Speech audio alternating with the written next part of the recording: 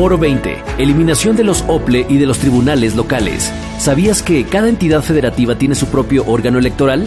En la República Federal como la mexicana, ¿qué funciones corresponden al INE y cuáles a los OPLE? Si desaparecen los OPLE, ¿sus funciones serán absorbidas por el INE? Entre al debate de la reforma electoral en los foros de Parlamento abierto por el canal del Congreso. Foro 20, jueves 25 de agosto de 2022. Cámara de Diputados, Legislatura de la Paridad, la Inclusión y la Diversidad.